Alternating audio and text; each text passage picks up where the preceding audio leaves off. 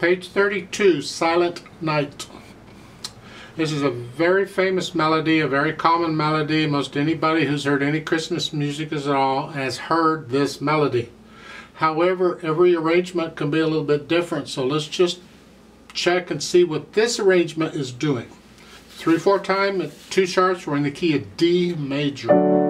Make sure you can do the scale, the D major scale, one octave up and down at least.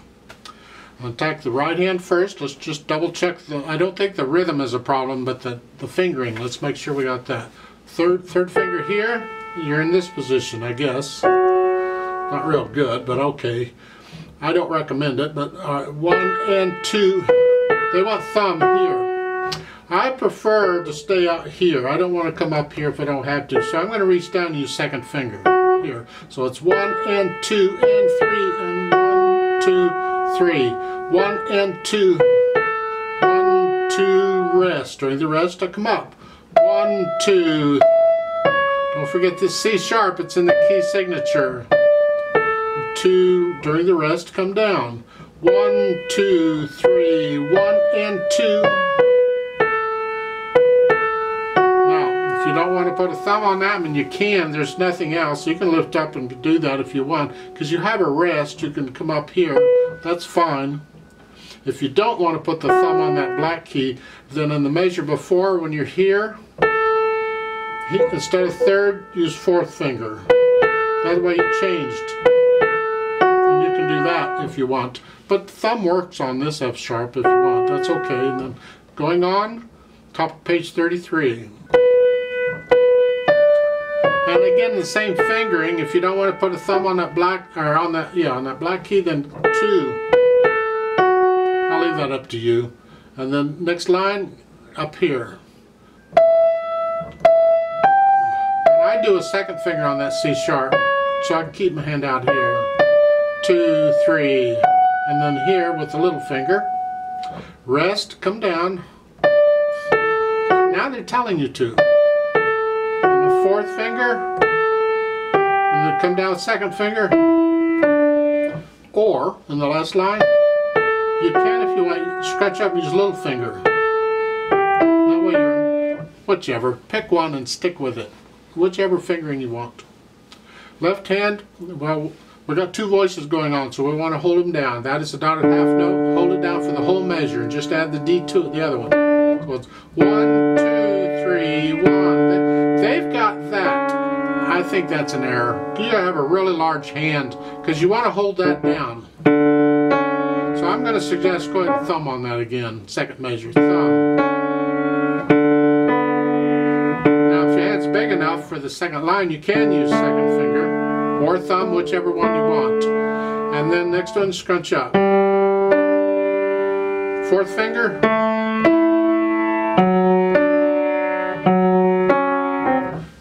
Down, second measure. Hold this down as you play the C sharp, two, one. And you can use fourth finger for the next measure. Now they want thumb. They say jump in that suite. Don't jump, just stay there. So you, the third line last measure, you're here. They want you to jump. They, they want you to move. Here. You can lift up and move down, I suppose. Finger. This way I can connect everything with the hands. Another fingering you can use here, if you want, is you ended the third line here. Going on, I can use second finger on that D, but then I'm going to cross the thumb under and here. And that, that way I'm in position to do all the rest of the line. I don't have to move anymore, I'm right there. So at the beginning it's here,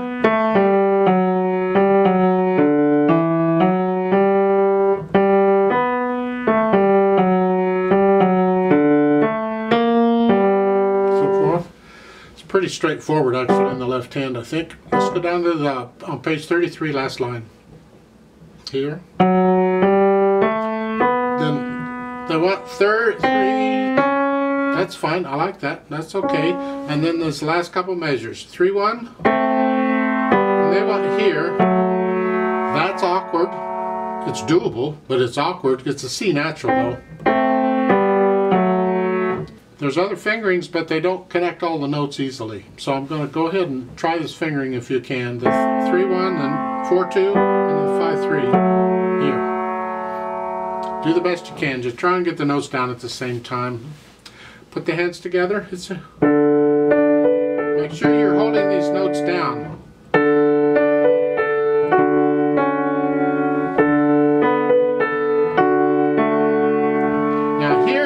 A rest in the right hand to come up, but not in the left hand. Rest.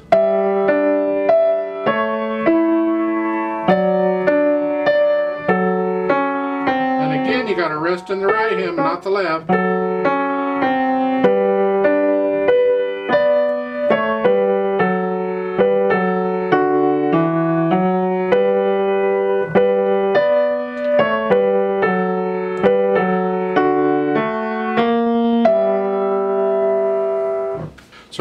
And try and get the hands together and then go back and get rid of the hesitations. Remember, if you don't quite like the arrangement, you can rearrange them, but, but please don't do that yet. Learn it the way it's written first, and then after you know it, then if you want to rearrange it, go ahead, that's fine. As far as the articulation goes, we're going to slur, just lift up between, it's like taking a breath. Of course, if you have rest, you have to be quiet. Lift up so forth. In the left hand, try and connect it all as best you can. So, so I'm lifting up the right hand but not the left. Rest. Lift up.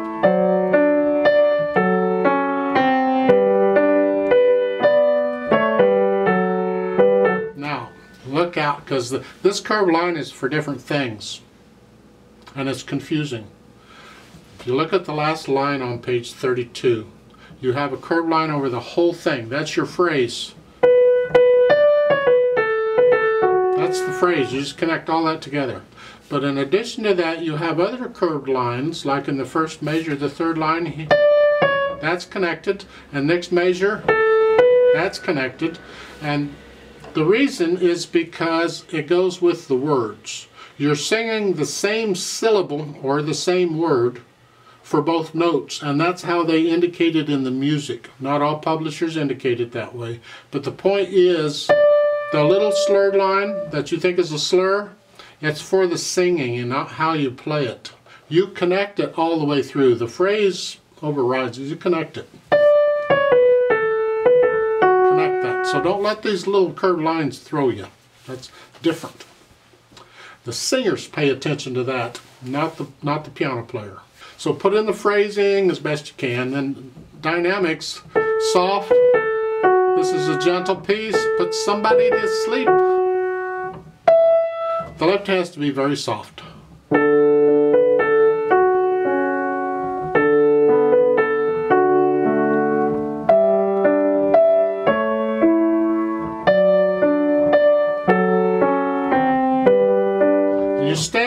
Area. You're not going to stay exactly that. You're going to get a little outside, get to know it and get to feeling it. And there. And you're st basically staying in that area. And then the second line on page 33, you have a poco crescendo. Crescendo means get louder. Poco means a little. Get a little louder. Not a lot, just there. Up to about a moderately soft. Right in there. So you stay here soft.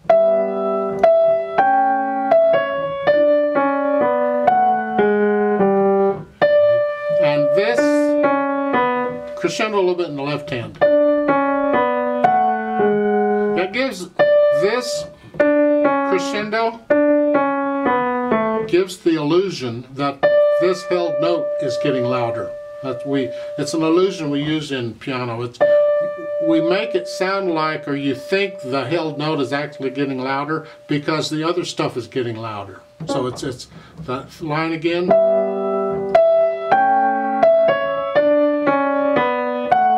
And then when you play the F, you've got to match what happened. Because that's still got to be louder than the left hand, but the left hand's getting louder. That means this has to be louder.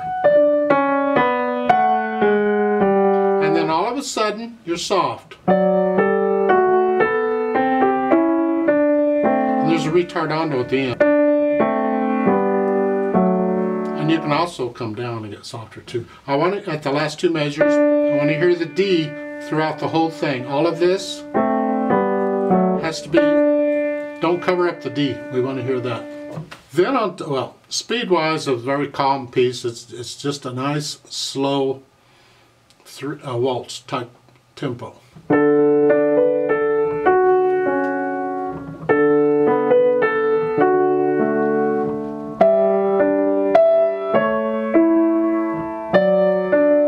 Gentle tempo all the way through. Now there is a DC at the end of the page 33. Again, it simply means you go back to the beginning, but that's if you're singing and you see the other two verses. So you just keep playing the whole piece over and over if you're singing it. When the play with me, I'm only going to play it one time though. And I really think there should be a thin and thick bar line at the end of that last line on page 33 because that's the symbol for the end of a piece. You know, they're not ending the piece. Where is it? Well, that's it, but they don't show that's the end. Now, they added pedal. Well, they're simplifying pedal. They're just overlapping everything, and they're pedaling everything. They're just changing it with basically with the harmony. If I pedal it the way they're showing, this is what it sounds like.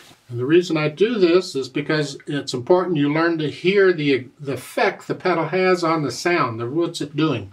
You learn it without pedal first, so you, your hands and everything are doing what they're supposed to do. Then when you add the pedal, you can more accurately hear the difference the pedal makes.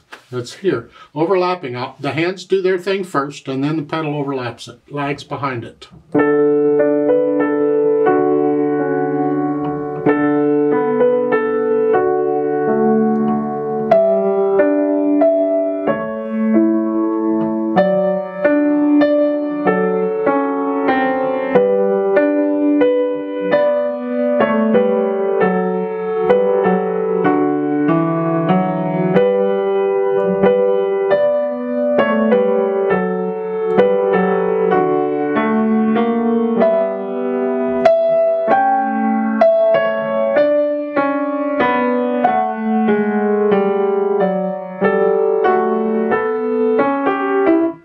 So forth. I think that's blurry. You see, when you have a slower piece, you have more time to hear the blurriness. If we're a fast piece, we can get away with some blurriness because the notes go by so quick. But here we got time to hear them. Here, I'm going to recommend, uh, for the most part, we pedal the first two beats of the major and lift up on beat three.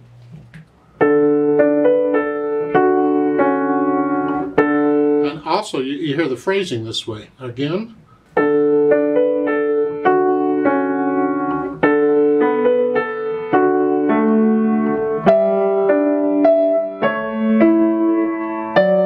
Second line, the last two measures, it doesn't really matter because there's not a lot's happening. You can pedal all the way through them if you want. But lift up at the end of the phrase so we hear that in the right hand. Lift up with the right hand.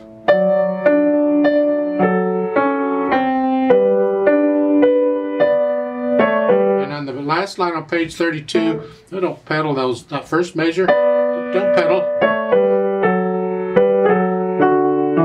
You don't really need to pedal that line at all.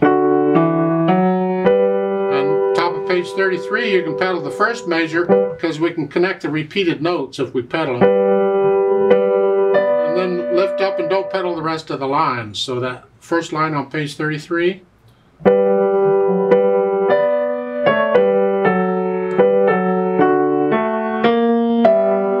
the second line, pedal the first measure, but lift up on beat three in the second.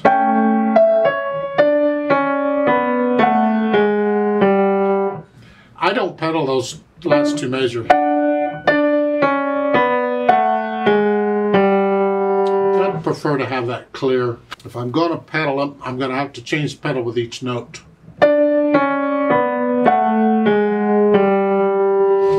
I just don't pedal those two measures. And then the last line, don't pedal the third beat. And then they finally tell you, you the, the last three measures or so, you can pedal it the way they're showing because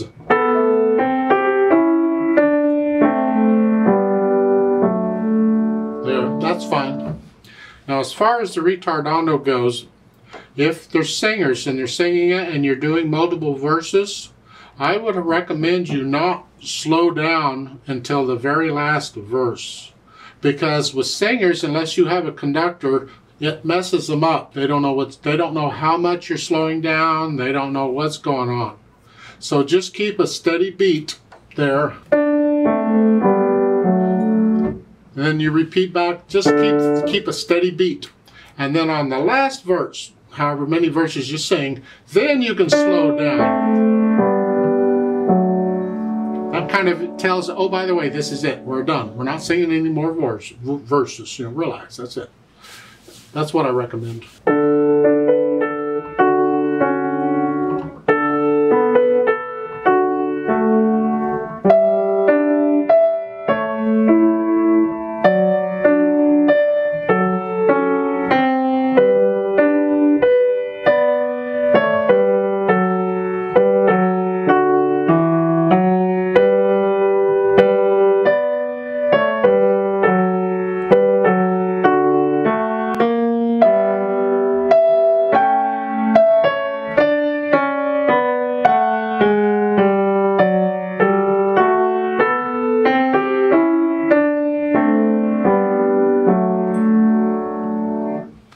Like to play it with you very slowly.